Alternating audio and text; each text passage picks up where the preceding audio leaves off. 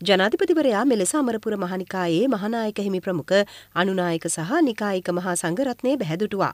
එහිදී ජනාධිපතිවරයාගේ ඉදිරි කටයුතු වෙනුවෙන් ආශිර්වාද කිරීමද සිදු කෙරුණා. ජනාධිපති රනිල් වික්‍රමසිංහ මහතා සහ සමස්ත ලංකා ජමියතුල් උලමා සංවිධානය අතර හමුවක් ඊයේ පැවැත්වුණා. ඒ කොළඹ මාලිගාවත්තේ පිහිටි එම සංවිධාන මුල අස්ථානයේදී. එහිදී ජනාධිපතිවරයා කියා සිටියේ කොරෝනා සමයේ මියගිය මුස්ලිම්වරුන් ඇතුළු සෙසු ආගමිකයින් ආදාහනය කිරීම පිළිබඳ සොයා බැලීම සඳහා පාර්ලිමේන්තු තේරීම් කාරක සභාවක් පත් කරන බවයි.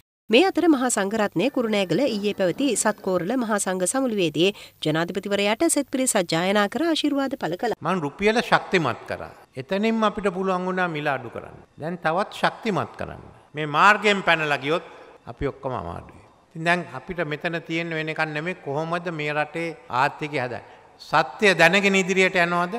සම්ප්‍රදාය හැටියට බොරු කියනවා. ඉතින් මෙතන තීරණය වෙන්නේ මගේ අනාගතය නෙමෙයි. දැන් තියෙන රටේ අනාගතය.